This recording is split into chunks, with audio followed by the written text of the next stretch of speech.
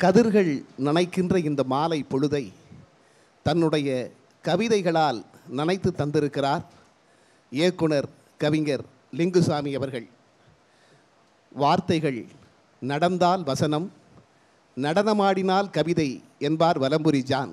தமிழ் கவிதைகள் நடனமாடுவது மட்டுமல்ல நமக்குள் நாடகமே ஆடுகின்றன என்று சொல்லுகின்ற அளவிற்கு ஒரு பெரிய வரலாறு தமிழ் கவிதைகளுக்கு மட்டுமே உண்டு. தமிழின் வரலாறு என்பதே தமிழ் கவிதைகளின் வரலாறு தான். நாம் பெருமைப்படக்கூடிய அந்த செம்மொழி அந்தஸ்தை தமிழுக்கு பெற்றுக் கொடுத்த பெருமை கதைகளுக்கோ கட்டுரைகளுக்கோ அல்லாமல் தமிழ் கவிதைகளுக்கே கிடைத்தது.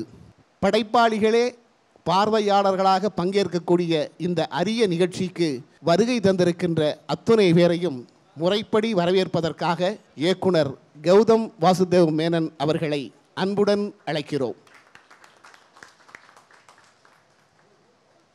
இங்கு வந்திருக்கும் அனைவருக்கும் வணக்கம். வருக வருக என்று வரவிருக்கேன் அப்படின்னு நான் சொன்ன ரொம்ப போலி ஆகிடும்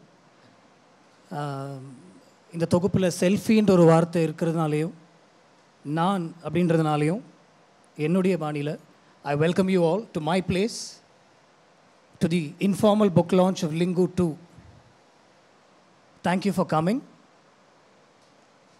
ரெண்டே ரெண்டு விஷயம் தான் நான் சொல்லணும்னு எனக்கு தோணுச்சு. Um, என்னை ரொம்ப யோசிக்க வச்சது இந்த தொகுப்பு. பதித்த எல்லா தடங்களும் அடுத்த அலைவரை தான் அப்படின்னு ஒன்று எழுதியிருக்காரு இதில். மின்னலே பண்ணும்போது மாதவன் என் கூட தான் இருப்பார் அப்படின்னு நினச்சேன். ரன் வந்தது. அவர் எடுத்துகிட்டு போயிட்டார் மாதவனை. காக்கா காக்கா பண்ணும்போது சூர்யா என் கூடயே இருப்பார் அப்படின்னு நினச்சேன். கஜினி வந்தது. முருகதாஸ் எடுத்துகிட்டு போயிட்டார். You're only as good as your last film அப்படின்னு எனக்கு அந்த கப்லெட் எனக்கு ஞாபகப்படுத்திச்சு. Your only as good as your last film பதித்த எல்லா தடங்களும் அடுத்த அலை வரை தான் அப்படின்னு அவர் சொல்லியிருக்காரு.